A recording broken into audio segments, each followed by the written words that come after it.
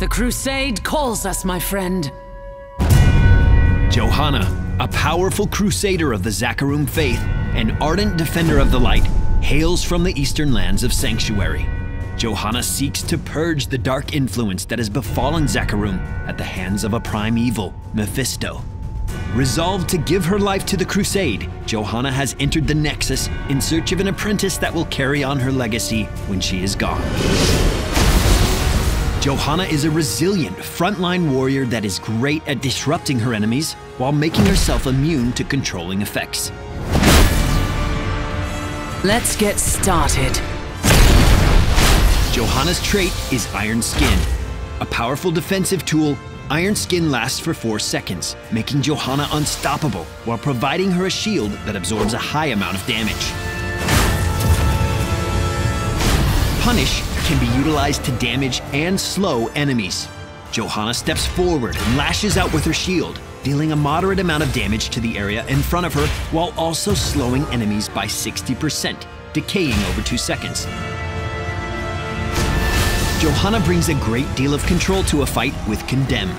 After one second of prep, Condemn pulls all nearby enemies toward her, stunning them for a quarter second and dealing a low amount of damage.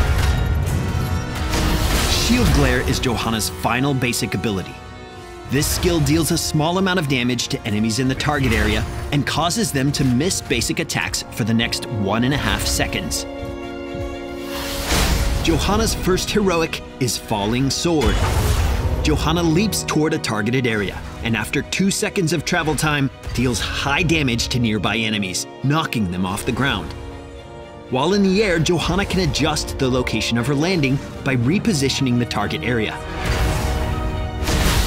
If looking for more surgical control in battle, Johanna can choose Blessed Shield. This skill shot deals moderate damage to the first enemy it hits, stunning them for 2 seconds. Her shield will then bounce to two nearby enemies, dealing low damage and stunning them each for 1 second.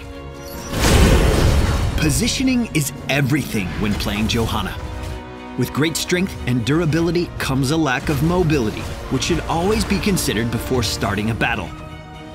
The synergy between Condemn and Iron Skin can allow Johanna to bully her way into any position.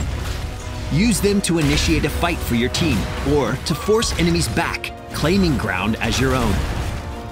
Once engaged in combat, use Punish and Shield Glare on important targets to mitigate their damage and slow their movement. Though these abilities provide damage of their own, you should consider using these skills primarily for their utility. Your teammates should align themselves to follow up with proper damage to secure takedowns.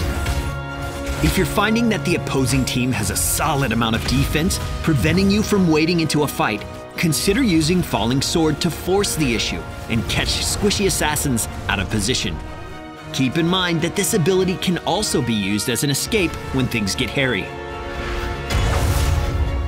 The heroic Blessed Shield carries a great deal of potential. However, it is a skill shot, so critical misses are going to hurt your team. Use this ability to initiate a team fight, defend an assassin being chased down, or to catch a fleeing enemy. Until our faith is pure. Let us know in the comments if you have any great tips for how to get the most out of Johanna. We look forward to seeing what players can do with this remarkable warrior. Be sure to subscribe here on YouTube and follow us around the web for all current news about Heroes of the Storm. We'll see you in the Nexus.